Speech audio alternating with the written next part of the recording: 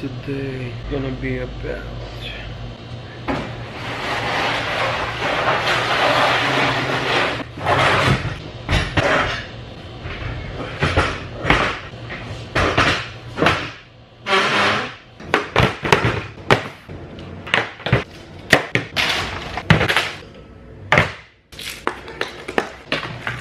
Today is something different.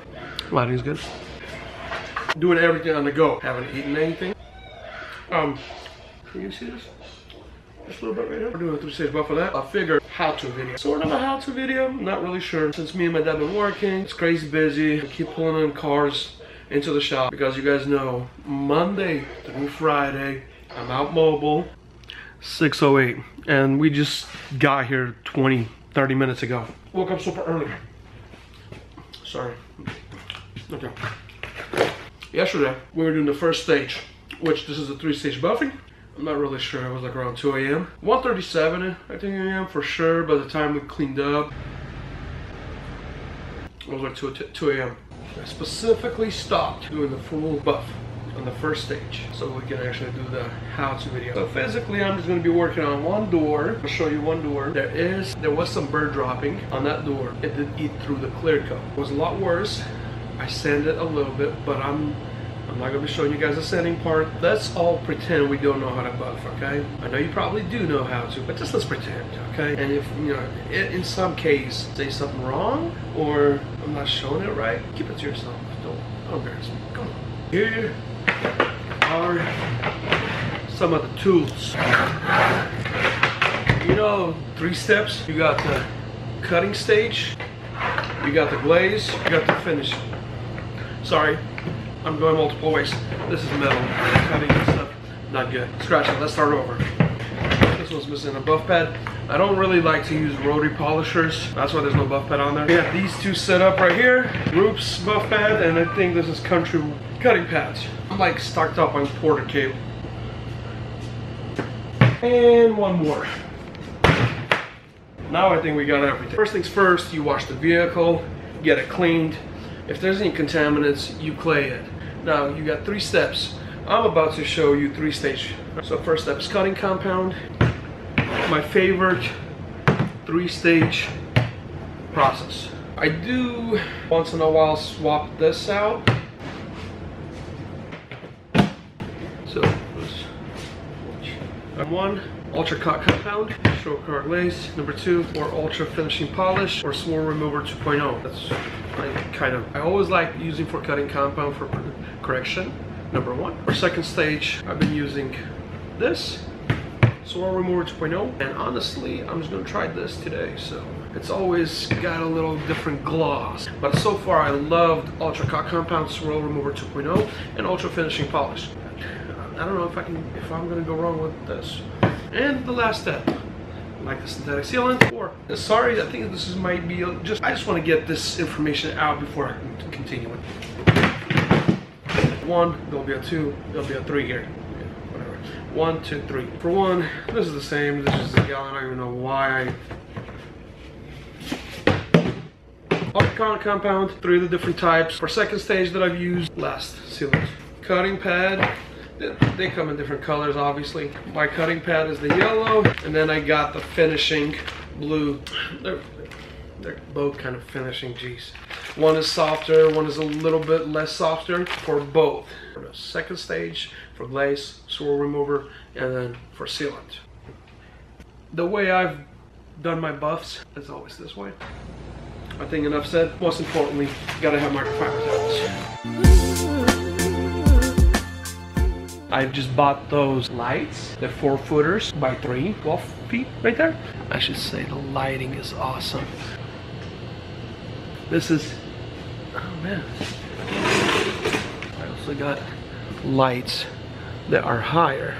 You got one right there, one right there. When you're buffing, you want to see the difference? Yeah, sorry. We were trying to buff this out yesterday, but then we stopped so I can do this video. This, this video. Let me just put the glasses on. Too bright. But check it. Sorry, sorry for the cool uh, what, words. Check it. Just check this out. Action. Wait, wait, again? Seriously? There we go.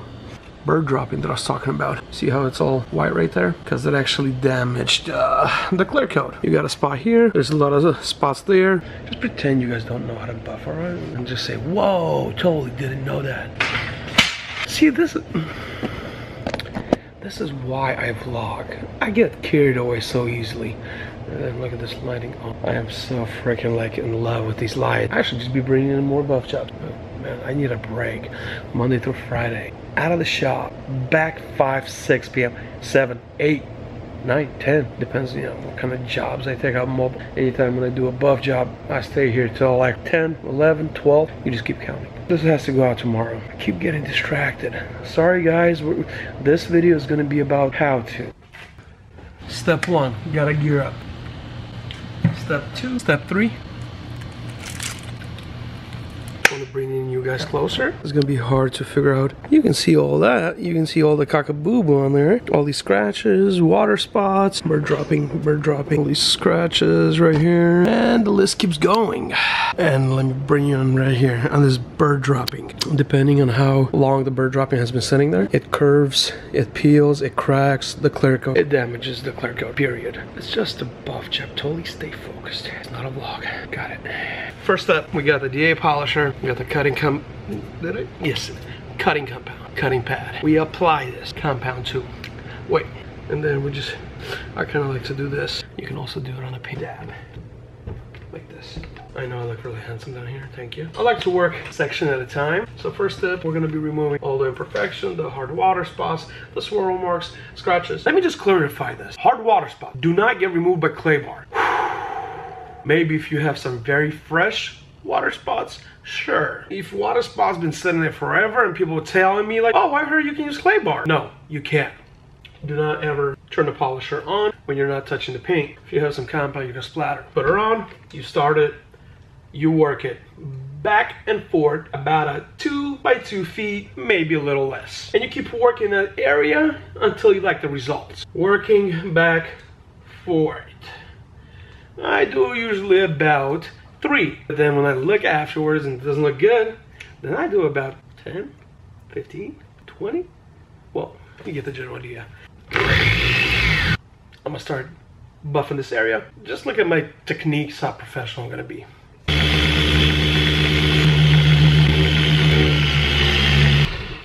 Just kind of spread the compound. This is the area I want to work. And then I'll move on to the bottom portion, then to the top portion. Number one tip, I don't like when people start with fresh compound and they always go in the cracks or to the door handle, to the window trim. Put some compound on. Start in the center of a panel where there's no cracks or gashes or whatever. So you're gonna load up a whole bunch of compound in there and when it dries out, when it dries out, it's gonna be really hard to wash off. I think guys, it's finally happening. Let's do it. Bird dropping. I am gonna probably uh, apply a little more compound in that spot. And I'm gonna just hold there for a little bit. You usually wanna move it slow, back and forward, you know, kind of like in this paste. And then when you come into like a finished buff, you can kind of speed it up a little bit. When you when you have a lot of imperfection, that's where you, when you want to just go a little slower so you can work it. You keep about, for Porter cable, I keep on five, between four and five. I knew I could count on you guys. Thank you for the suggestion. Oh, I know. The tape would be perfect line to see the difference before and after. Wait, am I recording? see, that's the life vlog, life struggle. You know, when you think you're recording and you shoot a whole bunch of funny stuff, right? And then nothing ever gets recorded and you just stand there and you're like it was so how am i supposed to i will get back to it like i keep telling you guys i get distracted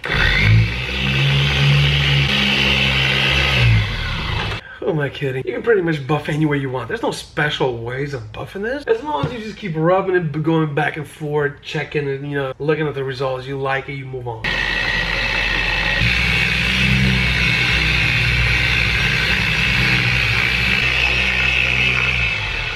Oh yeah, like again, bird dropping, good luck with it. What? Okay, I definitely don't know what I'm doing. Why is there, oh wait, wait. Now I see. That's the bird dropping damage right there. And there was slight, let's just give you up close and personal. So this is sort of a, you know, what you get, what kind of difference.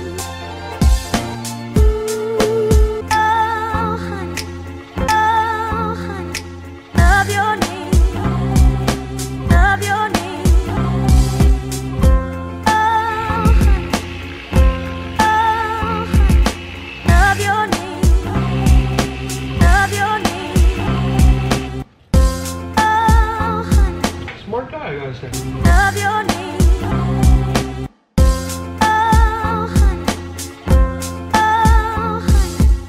On the finish it, glazes, I like to spread it evenly up on the entire pad. You work slower speed. Second stage, you apply, and that's it. You don't have to work it.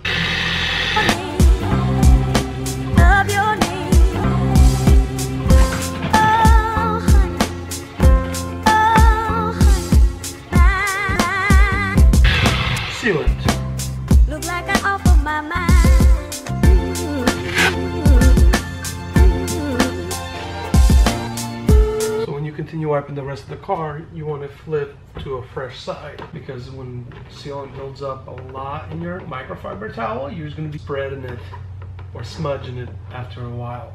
Every other panel, flip it to a fresh side. That's it guys. Well, that was it for this video. And I do hope you enjoyed the video.